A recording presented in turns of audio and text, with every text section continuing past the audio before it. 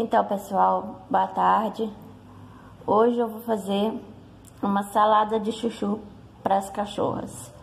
Aí eu peguei esse chuchu meio grande aí, mas eu pico ele, vou mostrar para vocês depois. E o que sobrar, é, elas comem amanhã. Vou lavar ele aqui e vou picar. Bom, gente, aquele chuchu todo, só um deu essa panela toda pois ele é da roça, aí deu muita quantidade.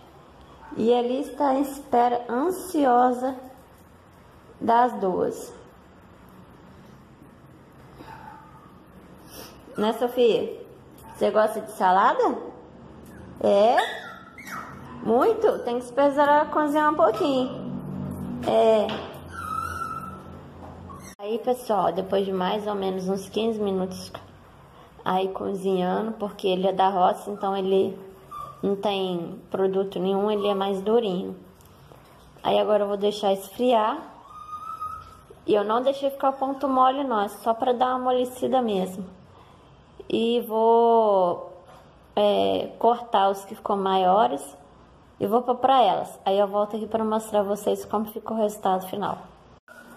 O da Sofia já tá aqui esfriando no potinho dela. E a ansiedade comendo elas, porque elas adoram. Aí agora o da Yuli, como ela é menor, eu tenho que dar uma cortadinha. E é isso. E o restante que sobrar eu vou pôr na geladeira. E amanhã a gente dá pra eles. É isso aí, pessoal. Se inscreva, dê seu like. E até o nosso próximo vídeo.